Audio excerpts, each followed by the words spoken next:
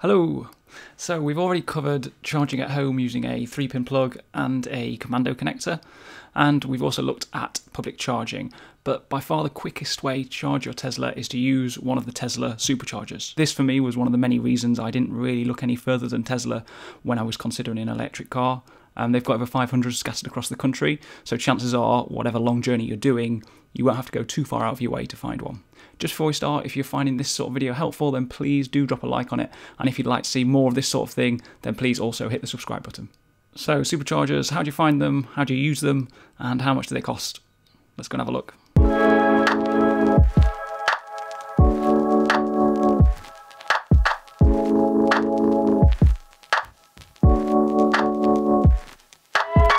Okay, so the easiest way to find a supercharger is using the in-car navigation screen. If you've seen my touchscreen tutorial video, you'll know that this lightning button at the bottom left displays all the nearby chargers. You can zoom in and out as normal, and this works exactly the same way whether or not you've already got your main route planned in. On the right hand side, you can filter by charger speed, uh, but I've just got the three lightnings selected, so I'm only seeing superchargers here. Clicking on the charge point will bring up information about it, including availability, cost, and the amenities at the services.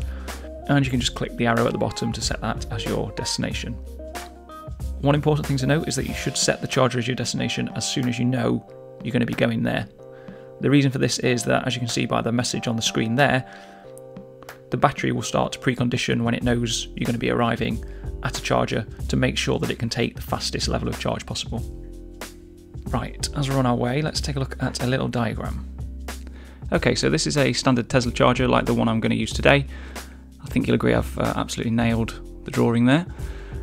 Now there are two cables to choose from. The bottom one is a Type 2 cable. This is compatible with all Teslas, but you will get a slower speed from this.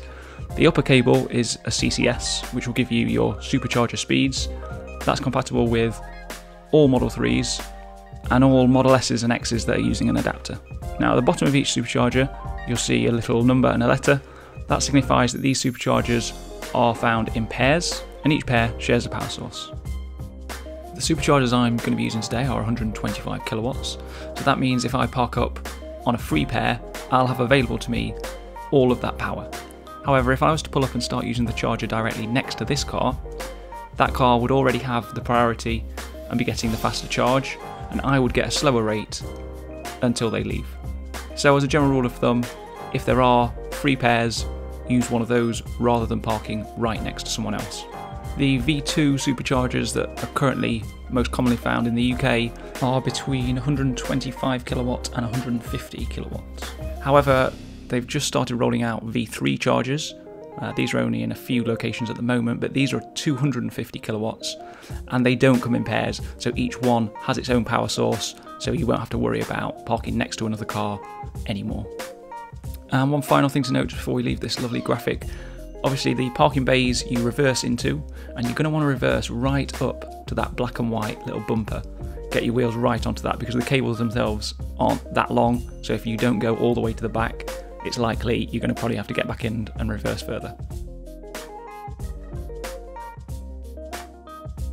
Okay, so once you have reversed in, you just pull out the cable from the charging station. You can use the button on it to open up your charge port and then plug it in and the light once it starts charging as usual will go will go green. And you can see here I'm parked right up to that black and white bumper and there really is very little slack in the cable. Um, so it shows how close you do need to be. Okay, so what about charging speed? You can see here that at the start I'm getting around 100 kilowatts, so that's 400 miles an hour, and it's saying it's going to take about 20 minutes to get up to my 80% that I've got set. So it's just about enough time to pop into the services, use the facilities, browse the overpriced snacks, and head back to the car. The charging speed you'll get will vary based on a number of factors. Um, so, first of all, the state of charge of your car. So, the lower your percentage is, the quicker charge you're going to be able to get. As it gets up towards the 80, 90%, it's really going to take a long time. And in fact, it takes nearly as long to go from 80% to 100% than it does to go from 10% to 80%. And that's one of the reasons why Tesla advise only going up to 80% unless you really need to. It's often quicker to go up to 80% and then drive to the next charge point rather than wait around and go to 100% for the extra that you'd get. You'll also get a slower rate if the battery hasn't been preconditioned or if it's just a cold day in general. It will take longer to charge up the battery in that scenario. And of course, if it's busy and you're sharing power with someone else, obviously that will lower your charge rate. While you're away from the car, you can use the app to change the overall percentage that you're charging up to, as well as check on the speed and the progress of the charge.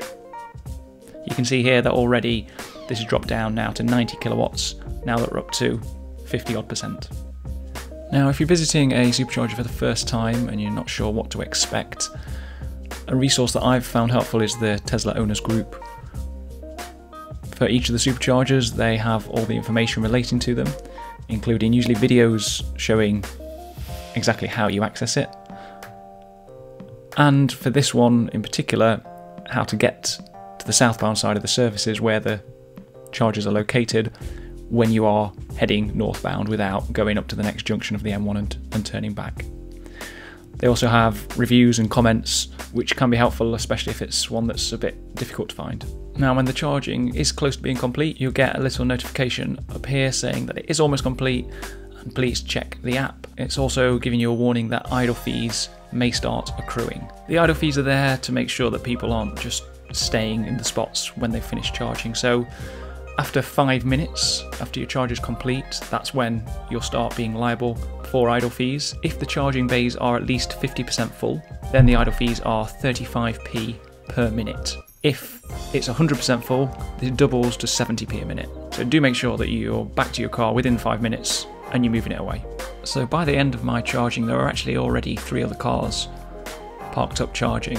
And just as I finished, this other Model 3 pulled in so I just said to him, I'm leaving so you can get in here so that he didn't have to share or go right next to one of the other people charging. So because of that, I made a quick dash out of the car to disconnect. So I didn't get video of how to disconnect, but basically you press the button in, pull the charger out of your car, and then just put it back into the charging station.